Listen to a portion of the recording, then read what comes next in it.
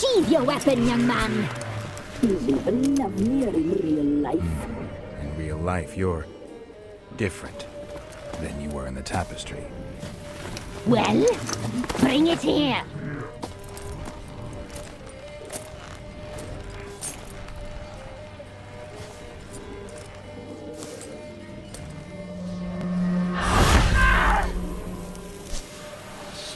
You can bring it, not ugly. You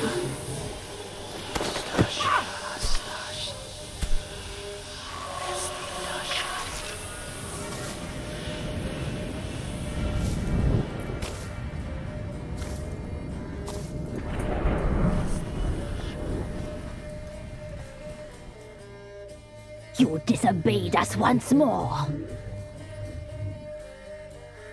We are forgiving creatures, but you, you allowed the children to escape.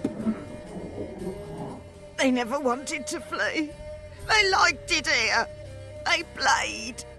Your punishment must be harsh. Now silence! We must speak to the white-haired one.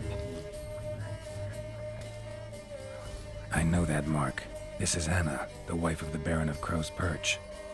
She belongs to no man. A fruit ripened in her womb. A fruit sprouted from seeds sown by a man she detested. We helped her. She agreed to serve. She bears the mark. She is ours. Come. It is another woman who interests you. Speak, white-haired one.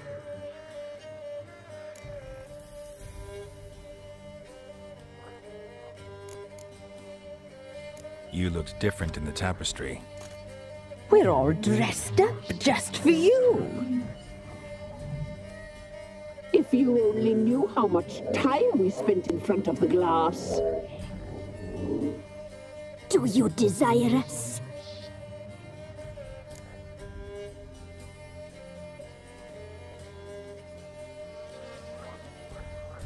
I'm impressed. Polymorphism, a rare talent. Oh, I'd suck every last drop out of you.